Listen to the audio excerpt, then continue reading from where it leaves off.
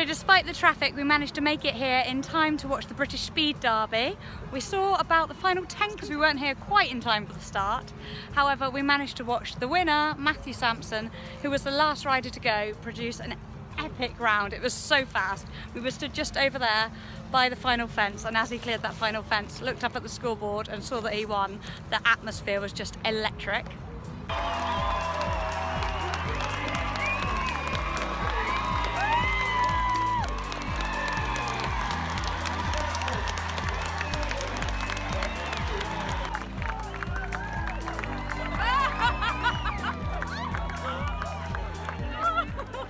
We've had a look around the shops, done a little bit of shopping.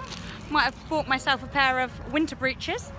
And now we're just looking at the Devil's Dyke because I remember when I was speaking to Sammy a couple of weeks ago, she was saying how distracted Willem gets as he comes around that corner. She's taken the um, line alongside the fence rail for the last few years, but this year she's going to come around the table and then come in from a left-hand turn to try and distract his view from everything that's going along down the edge of the arena here and obviously where I'm stood at the moment is going to be full of spectators. We have to jump the first part which is absolutely huge, downhill slightly, over the water and rail and then uphill, another stride, over another huge fence.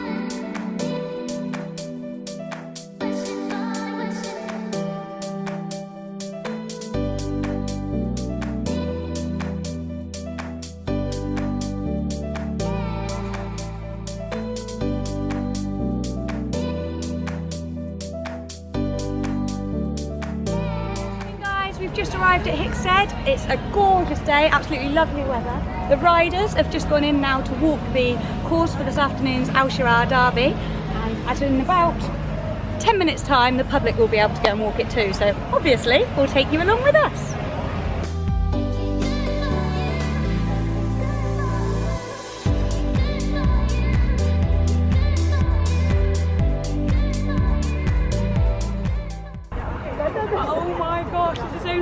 Too. Look how wide it is. It's wider than it is high, I think.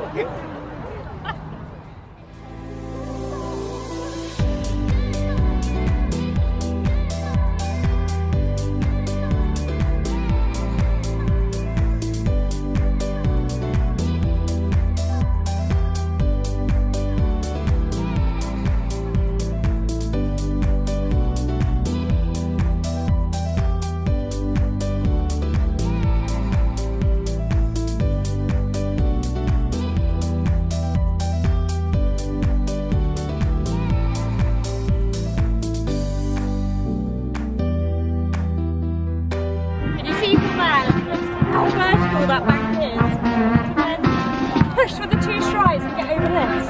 Just crazy! Cheers on the bank, Robbie.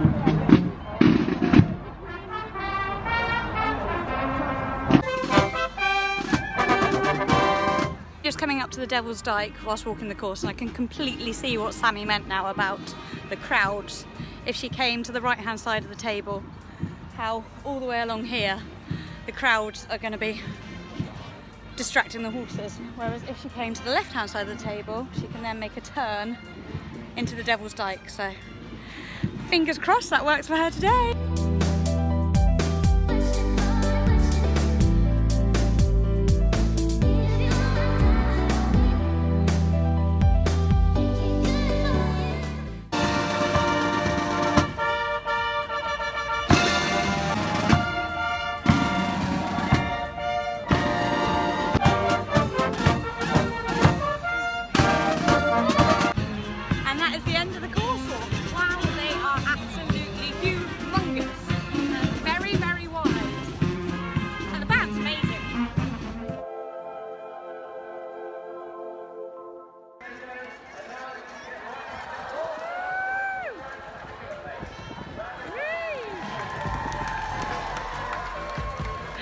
Now sat in the grandstand waiting for the derby to start. They're going to do the parade of the riders any minute and then it will start. And first rider is local Cornish girl, Sammy Jo Coffin. Right by fence three. Fence 14. Uh, and then the bank itself. And seventh place. As you can see, we've got an absolutely fab view. Try not to be too loud because a presentation ceremony is going on over there for Scurry Driving. And we're going to stay here for the first few riders. So we're close to the action. Then we're going to head round by Devil's Dyke and then the last few riders will go back over to the press side so that we can be in on the excitement and um,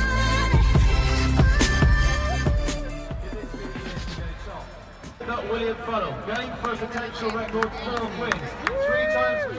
Well set to start, and we wish them all the best for the 2018 uh, Shira'aa Hickstead. A huge thanks to Al Shira'aa for their support again, their love of horses running through their blood, the great heritage of the Shira'aa stables, following through with their sponsorship here at the Hickstead Derby. Wonderful to have them on board.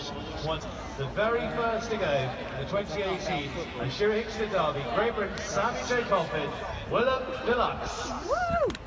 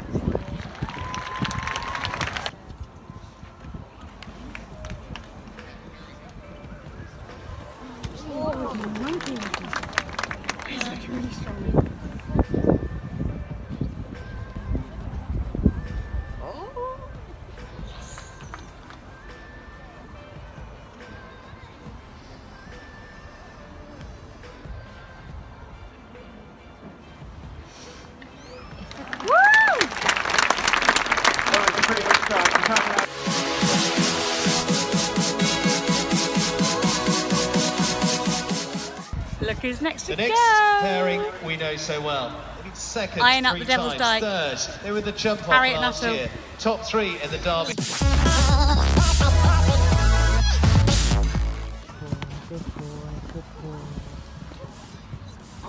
Go on. Yes. Good girl. Go on.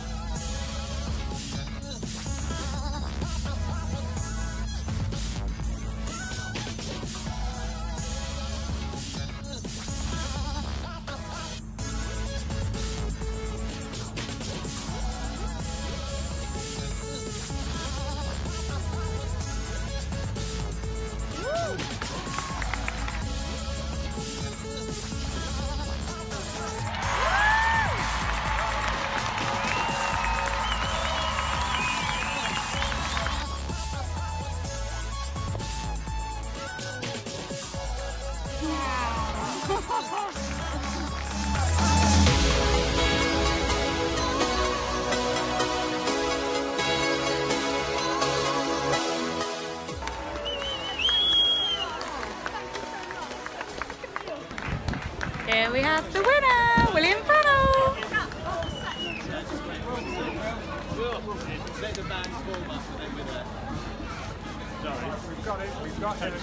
And sixth place you'll see just coming in now, Sammy Luke Well done!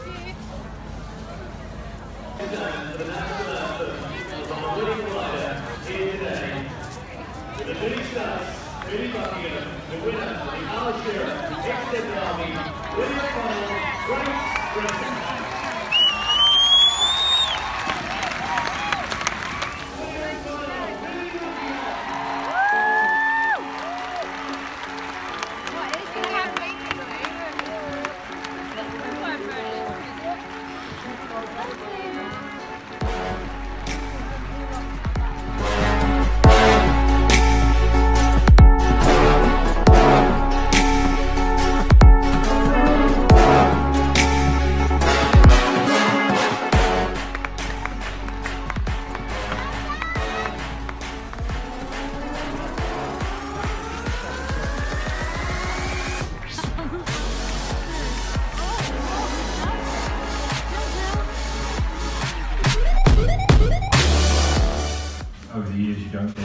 situations that often, you know. So, and as you get older, they become less. So you appreciate taking them when they occur.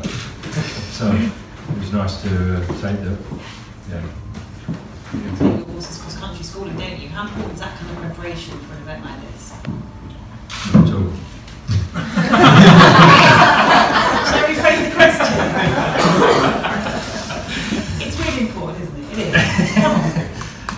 I, think what's really important is, as I said in an interview yesterday, what makes good derby rules. First, you get good Prix rules, and then you get it so it's happy jumping all these natural things, and then you've got good derby rules. And what's good is, is as I said, it comes down to the whole team. We take 15 four-year-olds to Harwood's Gallops, we go over all the cross-country fences.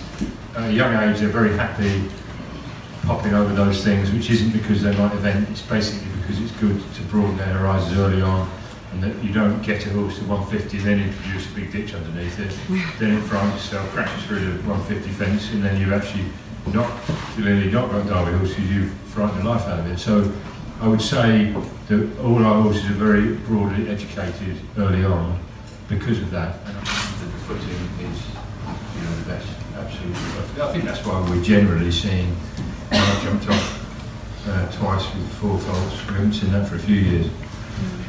You know, we're seeing horses jumping clears, you know, I think that's a lot down to the, the, the footing. Yeah. Go and watch how they jumped in the 70s. the rain. Very different. Fabulous, Kate. Any further questions? Just one for William. Uh, obviously, you decided not to do the jumping from the Derby trial. Were you particularly confident this year? I knew he'd have to jump twice today. Easy as that. Any further? Lizzie's got a question. Is there a lock-in at the Parrot tonight? yes, anybody's welcome. Parrot Forest Green. There we go. That's just gone out on the live stream as well, so you might have a few more. First things free. Any further questions? Good. Okay, well, it just remains to say congratulations, a huge thanks to all the team here, to Al Shira'aa, our sponsors, of course, of this fabulous cast. Once again, William Funnell, the Shira'aa Hickstead Derby winner.